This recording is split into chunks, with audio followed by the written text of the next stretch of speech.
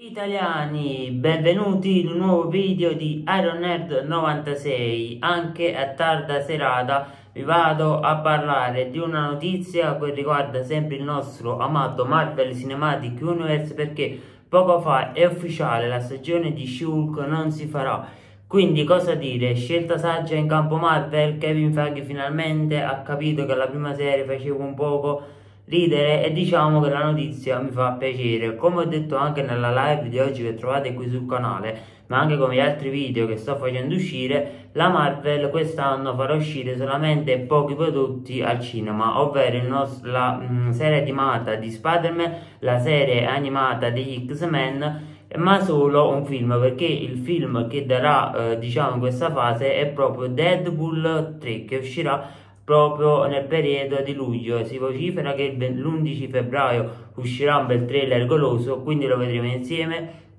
lo analizzeremo insieme e chissà, chissà a quanti iscritti arriveremo quando Deadpool 3 approderà al cinema. E mi auguro che eh, arriveremo in una cifra veramente considerevole. Siamo quasi quasi lo voglio dire ragazzi ma manca veramente poco manca veramente poco per arrivare alla soglia dei 4.000 iscritti. E non so più cosa dirvi non so come ringraziarvi ma la notizia che uh, questa cosa mh, mm, questa notizia che la Marvel ha mh, cioè non vuole far uscire la seconda stagione secondo me è una scelta molto saggia. Voi mi direte perché perché uh, purtroppo uh, la prima serie non è andata come tutti si uh, prospettavano. Diciamo che il, il, rammarico è troppo perché il personaggio di Shulk come il personaggio di Hulk è un personaggio dove puoi fare delle trame anche fumetti, come nei fumetti avvincenti. Il problema è stato che Shulk secondo me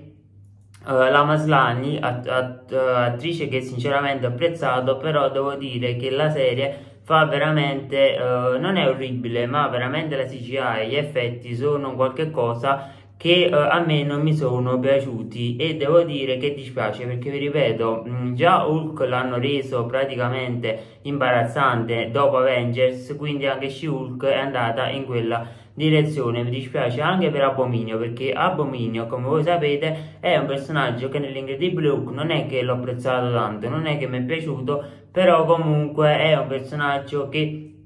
Uh, mi, mi, aveva soddisfatto per, que per quello che doveva, fa che doveva fare all'interno del film perché all'interno del film comunque era un personaggio era un personaggio che poteva dire uh, la sua. Uh, She-Hulk purtroppo è una serie come vi dissi che è iniziata anche bene perché comunque è una serie thriller, è una serie comunque di spionaggio dove appunto vedevamo anche la comparsa di Daredevil però il fatto che quest'anno usciranno solamente, usciranno solamente due prodotti la dice lunga su come la Marvel lavorerà nel futuro prossimo del Marvel Cinematic Universe. Devo dire che la scelta di non far uscire niente ma di far uscire solamente Deadpool che uscirà appunto nel periodo di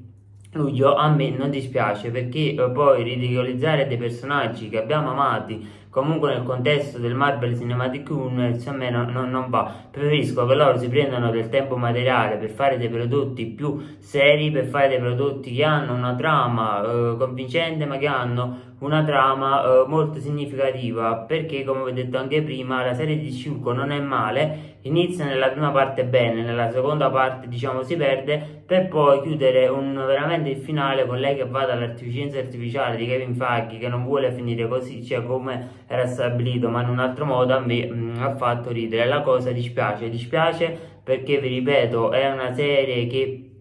secondo me si, pote si poteva fare molto molto di più ma come ho detto anche le altre volte come ho detto ancora la fase 4 è stata una fase sperimentale. Mi auguro che questi esperimenti la Marvel non li faccia più siano finiti perché appunto essendo finiti dopo ci troviamo con dei personaggi che nessuno vuole che de dei personaggi che nessuno a cui nessuno piacciono e dei personaggi che uh, fanno acqua da tutte le, parte, uh, le parti. Diciamo che la fase 4 si doveva aprire in un modo diverso perché sia The Marvels sia Ant-Man and and Wasp Quantumania dovevano portare uh, un nuovo appiglio a questo universo ma sappiamo che Kang è finito come è finito Shulk è andata male cioè non è che è andata male è una serie che non si prende mai sul serio a me non è proprio Moon Knight stessa cosa gli unici, gli unici secondo me progetti che io salverei sono Loki 2 e Guardiani della, della Galassia, però il fatto di non fare Shulk sinceramente a me um, mi convince, mi convince perché non voglio più vedere il nostro Bruce Banner ridicolizzato e, e con la tutina che aveva in Avengers Endgame, perché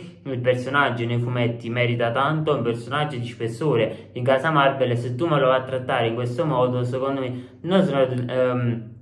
naturalizzi il personaggio ma lo fai diventare veramente ridicolo come è apparso diciamo nei film dopo Avengers perché in Avengers quello che avevo apprezzato di lui che nel momento, eh, nel momento in cui c'era da, da, picchiare da spaccare era Luke che tutti quanti avevamo amato come anche l'incredibile Hulk. Poi nel momento in cui dopo Endgame si è messo a fare Smart Hulk io l'ho odiato con tutto me stesso. Naturalmente mh, mm, ho anche eh, giustamente altri Funko Pop nella mia collezione quindi di Hulk però è un personaggio che a me non è che piace. Diciamo che World War Hulk è un progetto che la Marvel forse ci lavorerà forse uscirà non lo so. Mi auguro di sì perché anche in She-Hulk vediamo il figlio eh, Scar che eh, praticamente uh, viene presentato per, per unirsi secondo me ai Young Avengers. Questa qui secondo me è una mossa che premierà i Marvel Studios come la scena post credit di The Marvels che va a collegare la nostra Kate Bishop, la nostra eh, piccola Occhi di Falco al resto della truppa dei Young Avengers. Diciamo che la notizia è uscita poco fa, quindi ho detto voglio girarci un video sopra perché secondo me il fatto che Shulk non venga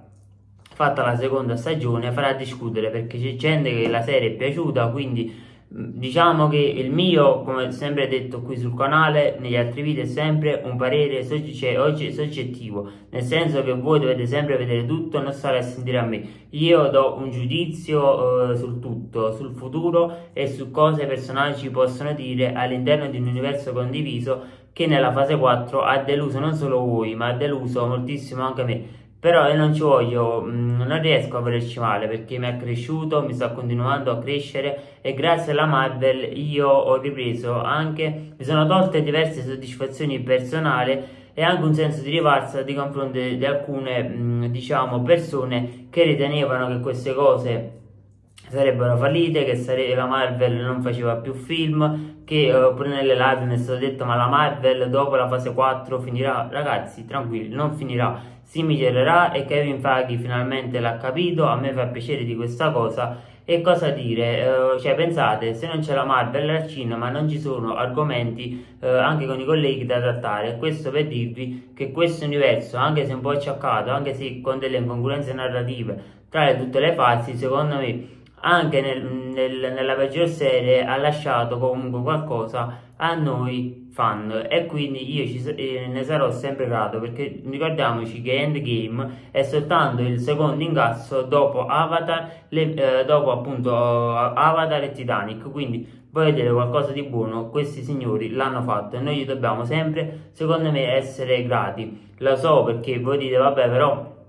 arrivati a un certo punto con Multiverso loro potevano esplorare diverse linee narrative differenti. L'hanno fatto. Il problema è che secondo me in diversi prodotti si è detto una cosa in altri se ne, se ne sono dette altre cose e quindi poi quando li sono andati ad unire uh, sono usciti un po' diciamo uh, fuori le righe. E la cosa a me non è che mi ha fatto piacere però vi ripeto comunque è una, una notizia che da un lato sono contento dal lato un po' mi intristisce perché comunque vedere Shulk interagire con Bruce Banner interagire anche con Daredevil e questo secondo me con la cancellazione di Shulk nella seconda stagione serie dubbi che secondo me la Maslany in Daredevil Born Again non apparirà perché se tu mi vai a cancellare la seconda stagione significa che la prima tutto quello che è successo è rimasta lì è diventato un Marvel Spotlight come appunto Ego. Però vedremo cosa nel futuro ci darà anche perché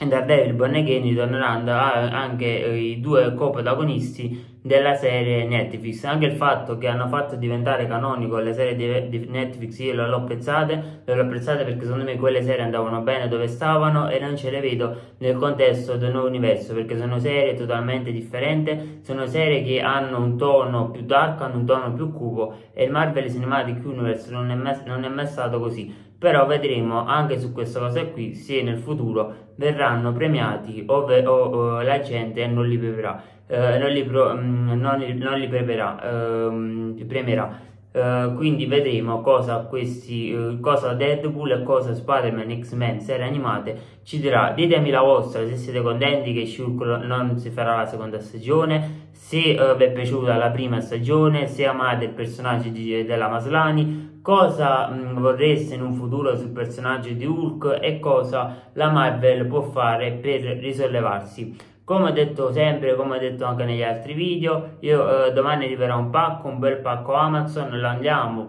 ad aprire insieme perché domani mi arriverà un personaggio di The Falcon e di Winter Soldier, lo apriremo insieme, faremo un bel video, ve lo mostrerò per poi giustamente richiuderlo e mettere in uno spazio che ormai lo spazio è finito perché in casa di Iron 96 trovare lo spazio è veramente un'impresa mega galattica che solo Tony, il suo ideatore, può fare, ma ci riusciremo. Detto ciò concludo facendovi eh, appunto vedere questa bellissima pallina della nostra benamata Amala eh, che domani sera c'è la Supercoppa, speriamo bene e uh, ragazzi noi ci vediamo in prossimi video, in prossimi live. Dai ragazzi che 4000 sono lì uh, e appena arrivati a questo numero festeggeremo insieme come le altre volte. Ditemi la vostra su Shulk siete fantastici, vi voglio bene 3000 da Ironhead 96 anche da Non Cubo che ho trovato la shorts che ho caricato già. È tutto. Ciao ragazzi italiani